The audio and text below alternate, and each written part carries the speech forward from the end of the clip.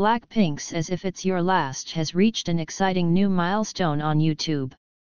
On July 15 at approximately 2.01 pm KST, Blackpink's music video for As If It's Your Last surpassed 1.3 billion views on YouTube, making it their fourth music video to do so after DDU-DU DDU-DU, Kill This Love, and BOOMBAYAH.